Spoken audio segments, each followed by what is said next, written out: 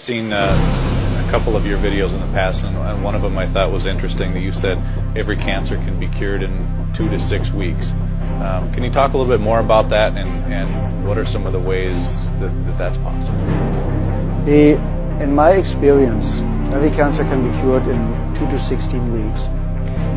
Some cancers can be cured in minutes because every doctor in the world that's in office for 20 years or longer knows cases of spontaneous healing. There's even a book out called Spontaneous Healing by a guy I really don't like, uh, just stating that there are cases of spontaneous healing. That means if it's possible, we just have to find a way to access this. That's number one. The second, you get rid of acidosis and toxemia. The second, the body gets alkaline and oxygen rich.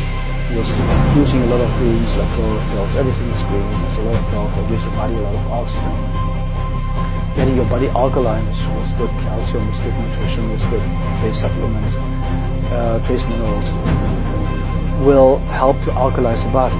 So that means the second you are alkaline, the cancer already stops. It can take a couple of days, a couple of weeks, but it stops.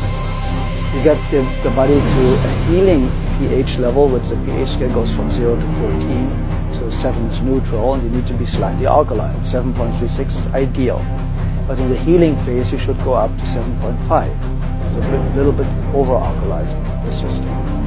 A great friend of mine, Dr. Uh, Martin in Germany, is using uh, oxygen more step therapy, for example. Take the blood out, get ionized oxygen, you lead the blood back in. You do this 12 times and that basically wipe your blood like a, like a